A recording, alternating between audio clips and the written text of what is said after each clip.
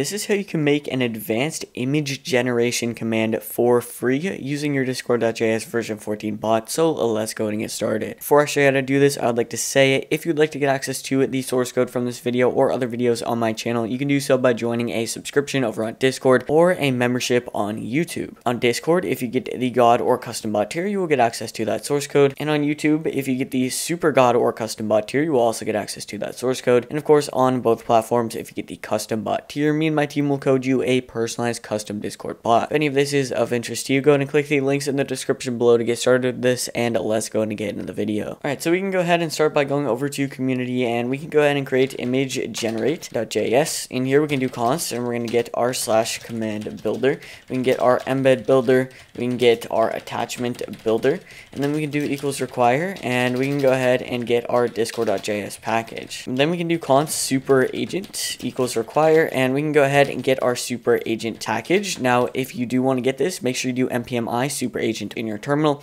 If you don't do this, this will not work. All right, so now we can go ahead and do our module.exports. We can go ahead and open this up. We're going to get our data, which will be our new slash command builder. Then we can go ahead and set a name. This is going to be image generate and we can go ahead and set a description. We can go ahead and say generate an image using AI, and then we can go ahead and add a string option. In here, we can do option arrow function option dot set name. This is going to be our prompt, and then we can go ahead and set a description, and we can go ahead and say the prompt for generating your image. And then after doing that, we can go ahead and set required to true.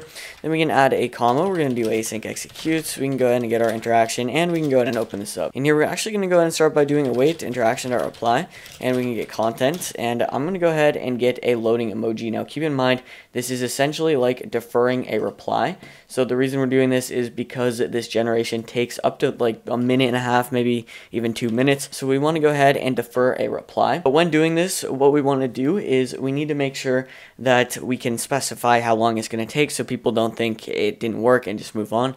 So we can go ahead and say loading your image and we can go ahead and say this can take up to five minutes and we're going to say five just in case it takes longer. And we can also go and set ephemeral to true then we can do const and we're going to go and get our options and we can set that equal to our interaction. Then we can go ahead and do const prompt equals options dot get string and that is going to be our prompt. Then we can go ahead and actually generate the image. So we can go ahead and do let image equals wait super agent dot post and we can go ahead and get this backend so this is going to be the backend that we're going to use. So this is going to be the link that you're going to need to write in here. So just go ahead and write this exact same link in here. Um, and then after doing that, you can go ahead and do .send, and we can go ahead and open this up. We can do prompt, and we can go ahead and open up our prompt within a string. And after doing that, we can add a semicolon there. So using the package that we downloaded, we're going to go ahead and post the prompt to the backend or the AI that we're going to be using to generate. Uh, and then right now, we're going to go ahead and get that image back so that we can send it into an embed. So we can do const buffer equals buffer.from, and we can go ahead and get image.body.images and we can go ahead and get zero. So it's going to be the first image that pops up. Now keep in mind, uh, I believe this generates a ton of images. So you could go ahead and get multiple images if you'd like and put that into an embed. But for me, I'm just going to go ahead and get one. And then we're going to go ahead and do base 64 as our buffer. Uh, so then after doing that, we can go ahead and do const attachment and we can do equals new attachment builder. And we can go ahead and get our buffer, which is going to be our image essentially and we can go ahead and give it a name which is going to be image.png so that way we have our name for our embed instead of just sending it as a file then we can go ahead and write out our embed. So we can do const embed equals new embed builder. And we can go ahead and set a color. I'm going to go ahead and make this blurple. Then we can go ahead and set an image. So in here, I'm going to go ahead and get attachment. And we can go ahead and get forward slash forward slash. And we can go ahead and get image.png. So we're basically going to go ahead and get our attachment within the embed. Then we can actually go ahead and attach the attachment variable to our message when we go ahead and send it.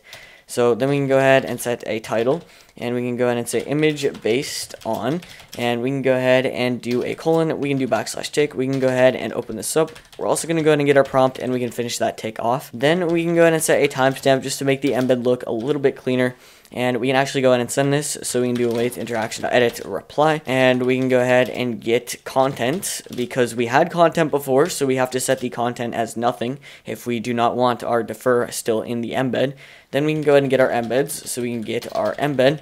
And we're also going to go ahead and get files, which is going to be attachment. Uh, and then we can go ahead and set it to ephemeral, um, but because our defer up here is already set to ephemeral, we don't actually have to do that. It's already going to stay at ephemeral. Alright, so with that, we are actually done with this entire command, so we can go ahead and save the file, restart the bot, and test this out. Alright, so over in the Discord server, we can go ahead and test this out. Now, before we do, there's a couple of things I need to mention. So first, this has no filter. Um, so what I mean by that is OpenAI has a filter uh, to block potentially NSFW images from being created. Um, this is no filter images, so uh, just be aware of that. That's why we're using ephemeral, so it doesn't get displayed to the entire server. Uh, the other thing you could do is you could add filters using uh, includes for the string if you'd like to do that. Um, but for me, I'm just going to leave it as is uh, because the whole purpose of this video is generating images, not creating filters.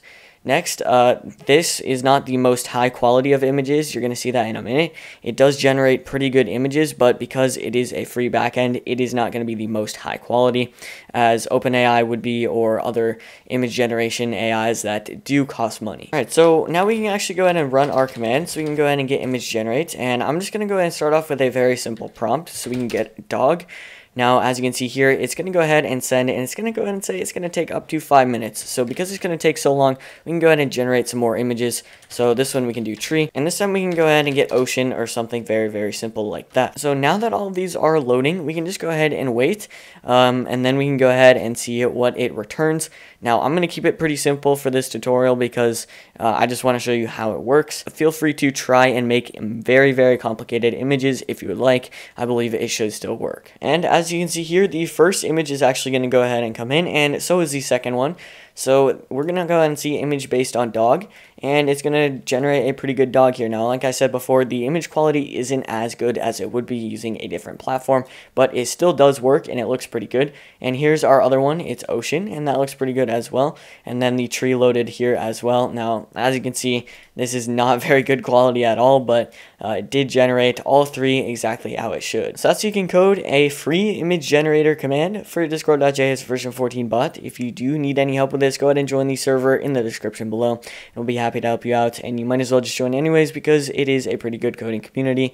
And with that, I will see you guys in the next video.